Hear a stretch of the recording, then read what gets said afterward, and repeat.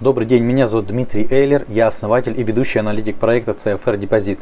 Сегодня 17 марта и для клиентов брокерской компании Amarkets это внутридневная аналитика по моей авторской торговой системе. Начнем с пары евро-доллар. Евро-доллар сейчас находится в зоне накопления между двумя ключевыми уровнями 1.12.259 и 1.10.969. Расторговывать такое накопление можно только при выходе из этого накопления. То есть в случае, если э, будет импульсный выход, э, пробивающий уровень 1.12.259, то на откате можно будет посмотреть точку входа на покупки и таким образом совершить э, сделку. Если будет импульсный пробой нижней границы уровня 1.10.969, то тогда на откате можно будет посмотреть точку входа на продажи. Франк также сейчас находится в определенной зоне накопления между двумя ключевыми уровнями 0.94 972 и 0.94 001. Та же самая абсолютная ситуация, если пробивается уровень 0.94 972, то на откате можно попробовать его э, зайти в сделку при э, получении точки входа. Если будет пробит э, уровень 0.94.001, то тогда можно будет рассмотреть точку входа на продажи. Во флетовой ситуации здесь торговать неинтересно. Фунт после долгого и э, сильного падения наконец-то пришел в ключевой уровень 1.21.956 и здесь э, все продажи у него закончились. На сегодняшний день я жду как минимум отката от этой зоны, потому что уровень очень сильный. Э, здесь э, будет, жду сейчас импульса для того, чтобы понять, куда дальше цена пойдет, для того, чтобы можно было рассчитать потенциал этой сделки. И тогда уже можно будет говорить о точке входа. Иена тоже после в принципе, неплохого движения вверх э, оказалась в зоне накопления между двумя уровнями 107 266 и 105 519.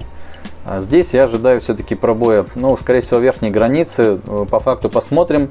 И тогда уже буду искать э, точку входа на покупки на откате к уровню 107-266. Если все же опустится ниже и пробьет уровень 105-519, на откате буду искать точку входа на продажи.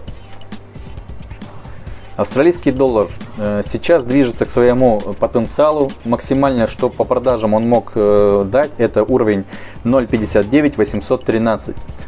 Осталось здесь ему немного еще дойти. Соответственно, здесь потенциал всех продаж, э, которые были совершены ранее, э, здесь у нас заканчивается. И здесь мы ждем отката, как минимум отката от этого уровня. Уровень тоже очень сильный, соответственно, все сделки на нем лучше все продажи закрыть. Новозеландский доллар пока тоже тормознул, находится в зоне накопления между ключевыми уровнями 0.61 278, 0.60 0.78. Торговать его лучше, конечно, на пробитие уровня и э, в данном случае я все-таки ожидаю пробой дальнейшее продолжение э, продаж и э, в случае, если импульсно пробьется уровень 0.60-0.78 на откате, я буду искать точку входа на продажи. Золото. Золото показывает э, просто огромную волатильность в последние дни.